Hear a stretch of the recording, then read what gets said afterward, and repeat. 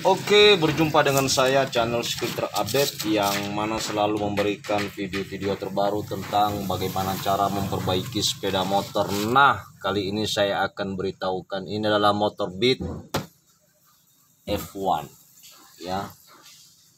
Kebanyakan banyak keluhan konsumen ada bunyi di bagian belakang ya, di bagian puli ini. Nah, pada kali ini saya akan beritahukan beberapa penyebab yang membuat suara kasar dan kemericing kemudian bunyinya ngelotok di bagian belakang ini.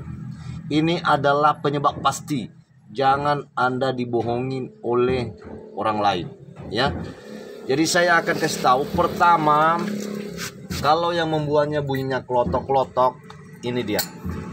Bagian di aspoli ini ini ada pen di dalam itu goyang. Ya. Jadi kalau goyangnya masih sedikit itu berarti bukan itu masalahnya. Ya. Ya. Kemudian di bagian kelahar CVT kalau seandainya ini lobok ada kuningan ini sudah habis ini tidak pas lagi dengan ini berarti itu sudah harus minta ganti. Itulah yang bunyi membuat kasar. Di saat dia mau angkat gas itu akan bunyi. Kemudian yang paling fatal adalah ini adalah sepele ya. Di bagian namanya sepatunya nih ya. Bunyinya di sini nah. ya bunyinya di sini. Ya. Jadi ini sebetulnya tidak perlu diganti. Ini hanya kita yang namanya mengganjalnya. Ya ini ya ini hanya mengganjalnya supaya ini bisa padat ya. Karena ini sangat fatal. Memang bunyi ini ya. Jadi kalau seandainya anda mengerti penyebabnya maka yakinlah akan mempermudah untuk menyelesaikan masalah konsumen tersebut. Kemudian dilihat mengenai masalah kelahar ini ya.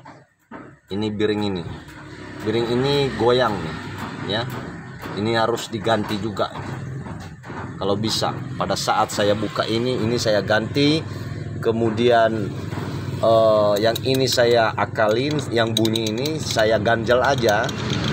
Kemudian kelahar atau biring CVT nya ini saya ganti.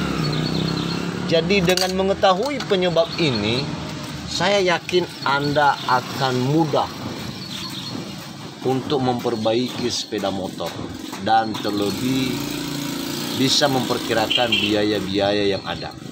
Jadi itu saja yang bisa saya sampaikan. Mudah-mudahan dengan saya memberitahukan penyebab suara mesin kasar, berisik dan kering-kering di puling belakang Beat F1 akan uh, mengatasi semuanya. Terima kasih.